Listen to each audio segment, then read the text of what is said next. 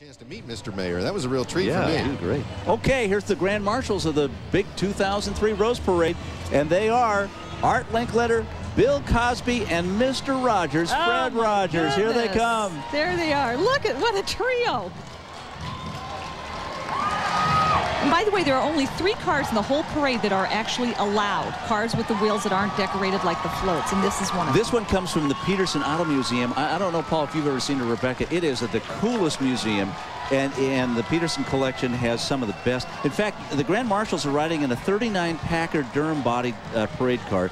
This once belonged to Argentine President Juan Perón and his wife Evita. In fact, the last photo ever taken of Evita was in this car in uh, 1949. Oh, and you know what's lovely is people are giving them a standing ovation in this, um, the audience. Well, it's Bill Cosby. I mean, it's the three and kids say the darndest things. It's three great Art men. Linkletter. and we all There's grew up with these guys. and Art and Mr. Rogers. Oh, you know what? I bet you his mom made him that sweater. Well, and there's no doubting it is a wonderful day in the neighborhood. Yeah. Listen to every, all people were standing up and blowing kisses and waving and But we all feel a connection to them. look at the crowd. Man, they're packed in.